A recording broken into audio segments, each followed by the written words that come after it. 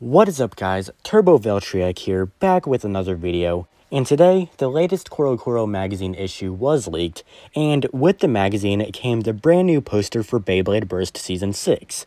So before we start analyzing the poster, I'm just going to say I will not be showing the poster in this video, because since the magazine has not been officially released yet, the poster is still considered a leak. So if you guys want to see this poster, I will leave a link in the description below to where you can find it. So this brand new poster revealed a few new things on Season 6, which first off, will be starting with Season 6's title, which will be Beyblade Burst DB, or Beyblade Burst Dynamite Battle.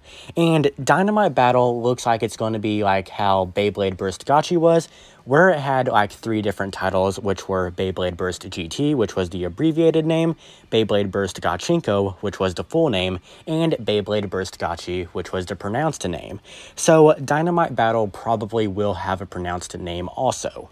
So in the center of the poster, we have the season's main protagonist, which is Bell.Kokuten, and right in front of Bell, we have his bay, which is supposed to be called Dynamite Belial.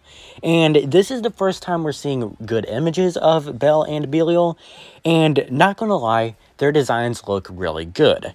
So right behind Bell, we have what looks to be Belial's avatar, and right behind Belial's avatar, we have what looks to be a haunted house. So on the bottom left side of the poster, we have two new characters for Dynamite Battle, and one looks like he's like related to Rantaro and Ranjiro Kiyama because of his like facial design. He has like blonde hair, he has the lollipop, and it looks like he has the bandage also.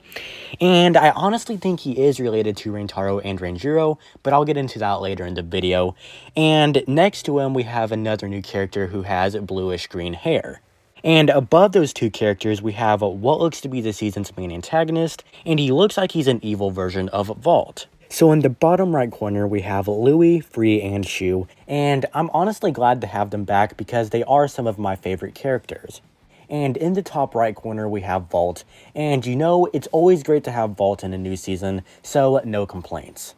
And the last thing that was revealed was Dynamite Battle's release date, and that'll be April 2nd of 2021. And just like Gotchi and Sparking, the season will air on the CoroCoro YouTube channel, so the episodes will most likely be 11 minutes long. So the last thing that I'll be talking about is about an upcoming release, which is Random Booster Volume 25, and the prize bay is supposed to be Cyclone Ragnaruk, and I'm pretty sure that one character that looked like Rantaro and Ranjiro is supposed to own the bay, so since he looks like the brothers and he owns a Ragnaruk, he probably is related to the Kiyamas. So anyways, what do you guys think about the poster for Beyblade Burst Dynamite Battle? Do you guys like it? Are you guys excited? Feel free to tell me in the comments below.